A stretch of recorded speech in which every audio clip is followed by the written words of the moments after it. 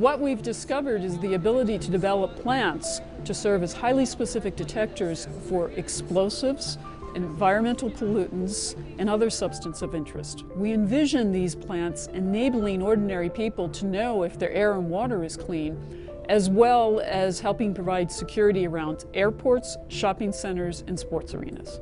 For the general public, you can envision planting plants around schools and around homes. They could tell whether or not they have radon in their basement by just looking at a plant. It's really about solving problems with this kind of research. And Dr. Medford's uh, research actually illustrates how one can take basic changes in uh, our understanding of science and apply them to important problems for uh, uh environmental protection and homeland security and other sorts of uh, important problems uh, here in the state or across the country or internationally. We've gotten this large grant from the Defense Department to take the technology and make it work out in the real world so that we can in the future have people walk by plants in airports and find the bad guy with the explosives in their bags.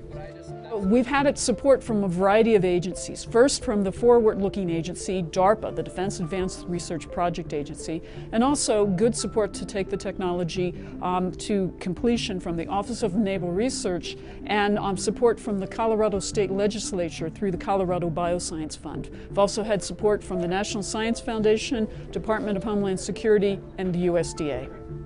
So what's next is we're developing the ability to take the technology out in the real world so that we can have a very fast response. So if a bad guy walks by with explosives in their bags in the airports, our plants can detect that. And to make it work for a variety of different pollutants that people find in their environment.